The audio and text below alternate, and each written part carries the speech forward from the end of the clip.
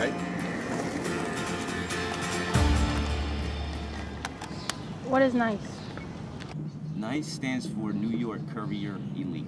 I want NYCE to be a race team populated by uh, urban riders.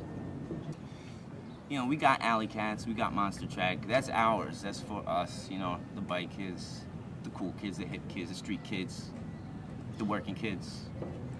That's for us kids. Nobody can touch that. I'd like to get a group together that can't be touched on the road. They can't be touched on the track. They can't be touched in the dirt, cyclocross. They can't be touched anywhere on a bike. I want to be a part of a team of like-minded individuals, nice people that want to commit to doing well and having a shitload of fun at the same time.